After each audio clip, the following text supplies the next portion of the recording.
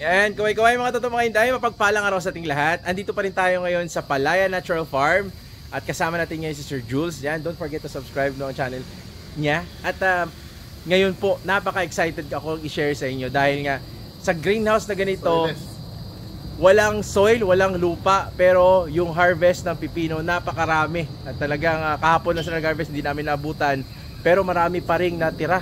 No, tingnan niyo na lang po ito. So yan Sir Jules, bakit yung uh, pipino nyo, karamihan kasi nagtatanim, lupa. Ito ngayon sa inyo, greenhouse, ano ba ang meron dito? Tingnan natin Sir Jules. Ayan, kukupit lang yan. Kukupit. Yan, tapos naka-drip yan, naka-drip yan ganyan. Drip irrigation. Drip irrigation wow. yan, kukupit. Okay. So, Ayan. Wala kasing kuryente dito, inconsistent. Oh. Kaya suspended yung drip irrigation ngayon. Okay. So yung challenge dito kasi walang kuryente dito no sa pa- Nawawalan, sa ano to, no? nawawalan. Nawawalan. Oo, nawawalan. Okay. Pero walang problema yan kasi Okay. alam naman natin ng pagdilig niyan. Mm. Yun pa rin, control pa rin ang dilig. Ayun. So 2 months old na to Sir Jules. Nakikita siguro kasi naka halos siyam na na-harvest eh. 9 harvest na. Hmm, nine harvest na. Ayan, so Pero ga- still makikita niyo pa rin oh. Oo. Yung 1, Ay, grabe. 2, 3, 4, 5, halos yan sunod-sunod. Ang daming bunga oh. Ang bunga yan. oh, grabe. Ano ang variety na to Sir Jules? Ang daming bunga talaga. Tam sweet yan, tam sweet. Top sweet, saan mabibili? Kahit sa Shopee, sa Shopee. Oh, tingnan nyo oh. Oh, uy, grabe kadami oh. Yan. Ang taas pa, ang taas na pa oh. Red flies. Ayan, so yan oh, naka greenhouse. So organic. Sa isang puno, tingnan mo, Oh, lima, si anim. bilangin natin, bilangin natin. Diba, isa, Oh. dalawa, tatlo, apat, lima. Kaya yung buhayin yan. Kaya niya. Ayan oh. Ito yung variety na Tom Sweet, no? So magkano yung bili, bin, bintahan dito, sir? Ang benta namin dito, 100. Dami talaga. Oh? Lima, lima. 100. Sa 100. resort eh, sa farm resort. Oh, yun. So, So patapos na pala to, sir. Ito, parang ah, medyo na ano na siya. Nasira to kasi sa sobrang dami ng bunga, Mm. bumigay. Oh. So isa siya, isa siya sa bumigay. So Pero para ano, lakihan nyo yung ano, trellis. trellis. Mm, kasi ito, ano, naluma na yung trellis. Malakas na rin trellis eh. Oh. Nakatatlong batch namin dito. Pero ha, dito, ang dami talagang bunga sino. Dami pa kahapon na sila nag-harvest ng hapon. Oh, ito oh, dami din oh. Yan. Sus, dan oh. Uy. Yan. Kagandahan dito, maliit lang yung buto niya. Mm. Yan o. Oh. Yan. Tsaka sweet. Yan, share-share na tayo dito, kakain na tayo. Mm, Malambot yung balat niya. Tom Sweet. Yan. Walang spray to ah. Mm. Walang fungicide, walang pesticide. Naka-greenhouse kasi tayo. Kasi ang number one na kalaban ng pipino, di ba, yung, Tusok-tusok na ano, yung ano yan? fruit fly. Fruit fly. Mhm. Yan, dito wala. Mm, okay. So yun ang advantage naka greenhouse, so safe siya kainin agad, no. Yung piliin niyo yung kung saan kayo bibili, mga totoong hinday. So yan oh. Ang dami bunga oh. Ito. Sir, paano to siya napapabunga, sir? Ito yung pinaka-question. Kasi walang lupa, pero bakit siya nagbubunga? Ah, nutrients. Yung we supply the right amount of NPK, calcium nitrate, Epsom salt. Yun lang. Mhm. Tapos ina ini-sprayan namin ng yung calcium boron sa Mhm. taas. Para kasi sa sobrang dami niyang mag-load ng ng ng fruit. Hmm. Ang dami talaga oh. Oh? Papasok na to ha. Mhm. Pa-end na siya. Paenda to siya eh, kasi yung ninth harvest na, so yan oh.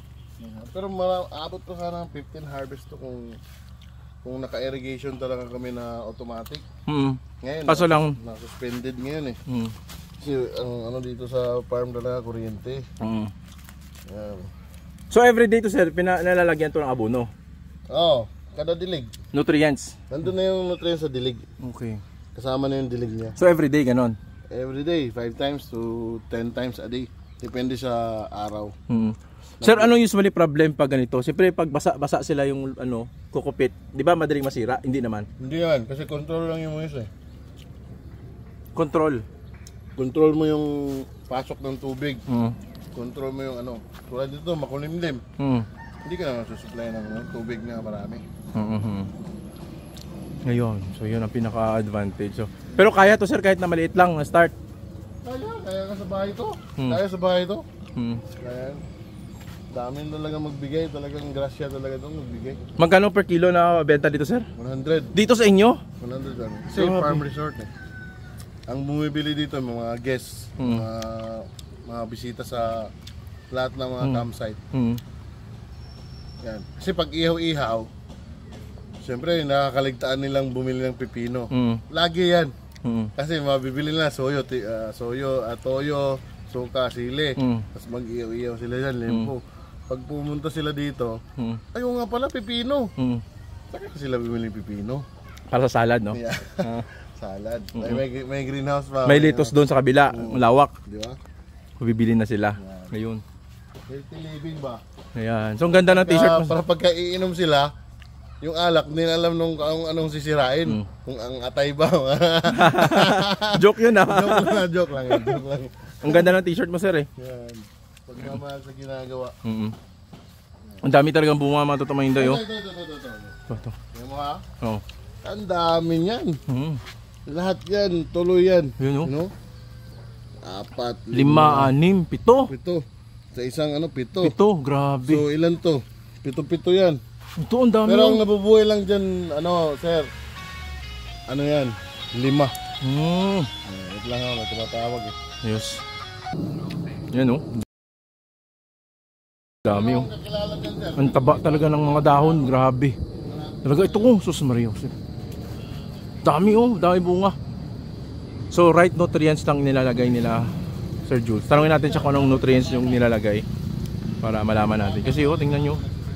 Ganun kadami yung bunga. So kapag natural farmer ka lang na parang sa traditional farming, ibang level yung ganito kadami oh. Hmm. Dahil bulaklak pa, tuloy-tuloy pa. So walang lupa to. Ito yung pinaka maganda. Walang lupa. Ayan. Oh, lalaki oh. Kahapon na sila nag-harvest pero ganito na agad. Ang bibilis. Yan. Sir Jules, tingnan nyo. Ito lang. Oh, yan. May tumawag kasi sa kanya. So yan lang yung lupa oh. Hmm. Ayan. Hmm. Ayan oh. Soilless. Soilless. Tingnan mo, Kukupit. ito, ito, ito, ito, healthy pa to. Yan. Hmm. Hmm. Sus, apat, apat. Kahit pito yan, ang matutuloy dyan, Kahit average yan, apat or Apat. lima. Apat, lima no. Lima. Ayan oh. Dami oh. Yan o. Ito din o. Yan o. Hanggang dun sa taas yan. O. Ayan nga. Ito Ito, ito. Oh. So, ang magtutuloy dyan is pa sa pito. Hmm. Swerte ka yan, lima. Ito, tuloy dyan lahat. Ito, makikita mo.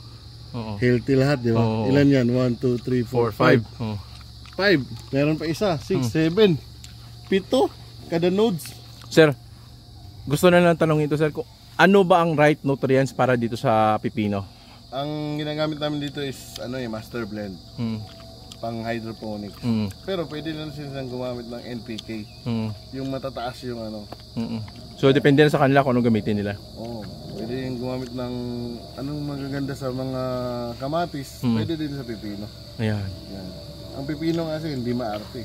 Hindi no. Yan. Wala masyadong Hindi ko kabisado yung sa lupa kasi. Mm. Sa amin, NPK namin is 31638 yata yun. Mm. Basta tomato formula Hmm. ng hydroponics. Mm. Ito ang ano dito, hindi na siya masasayang kasi nandito lang. Kumbaga yung wala na masyadong tulo yan. Mm. Kumbaga hindi na masyadong masayang yung nutrients dyan. Oo.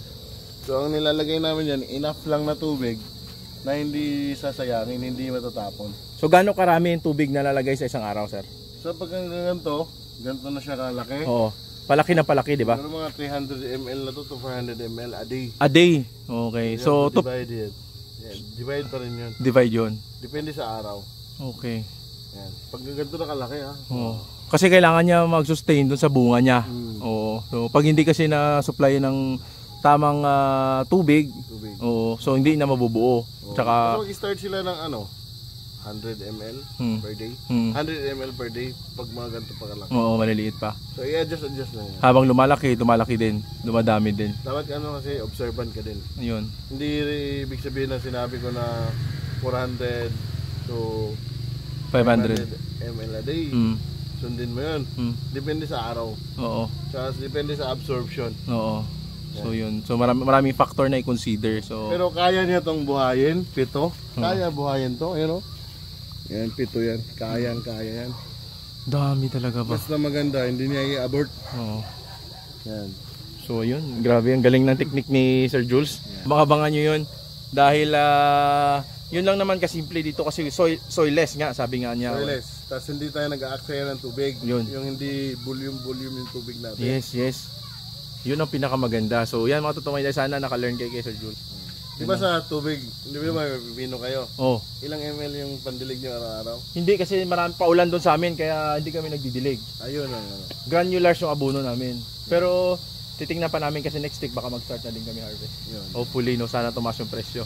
Ang Yeah, pero ito disadvantage lang sa ulan, hindi nila nakokontrol. hindi kontrolado. Ito kontrolado lahat. Pero yun, kasi hindi nalulunod. Kasi pagka sobrang ulan, Talagang diretso. diretso, hindi siya malulunod. Yun. So, yun ang pinaka-advantage, no? So, yan na. Maraming salamat kay Sir Jules. Please don't forget ang to subscribe yung channel niya. J&J Integrated Farm. Integrated Farm sa YouTube at uh, J&J backyard lettuce. Backyard Lettuce Baka sa magulat Facebook. sila, English yun. Yes. Kasi in-English ko yun kasi lahat, ang gusto ko kasi pataasin ng antas ng mga magsasaka dito. Tama. Pero hindi naman malalalim na English yun. Ayan. Yan. So- Naintindihan pa rin yan. Ayan. So, maraming Ang salamat. ganda nun, wala kang basher kahit nag-English ka. Oo. Wala, wala. Hindi na maintindihan? Hindi. Hindi naman.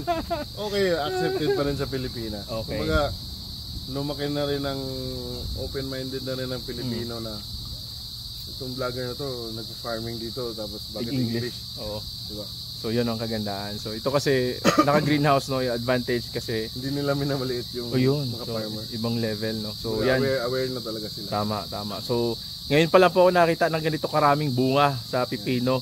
At saka wala pang lupa. So, ito yung pinaka Soilless. soilless talaga. Advanced technology na ito. So, Dahil yan sa pagmamahal sa ginagawa. ayan. So, right knowledge, sabi nga ni Sir Jules. Right knowledge yan. No, para right approach din yung ah, mangyayari. Tapos, right result ang ah, makatatanggap natin. So, yan. Advice, advice ko sa kanila, Yes. start them with five heads muna. Five heads. Ayun. Pag-aralan talaga nila. Ayun. Hindi kasi ibig sabihin na ilang ml yung dilig, ilang ano. Hmm. So, yun, at least meron na silang idea Oo. kung ilang ml per day. Yan. Basta sa maliit pa lang. Tama. Start yung 100, 100 ml per Yan. day. So yan ah. Maraming salamat po sa inyo. Maraming salamat Sir Jules. Mula dito sa. Palaya Natural Farm sa Tanay Rizal. Happy farming sa ating lahat. Kaway-kaway, mga totoo mga inday. Kita kita sa susunod na video. Pwede silang mag-visit dito. Ayan, totoo. Ayan. Visit kayo dito ah. Ayan. Palaya Natural Farm. Palaya Natural Farm.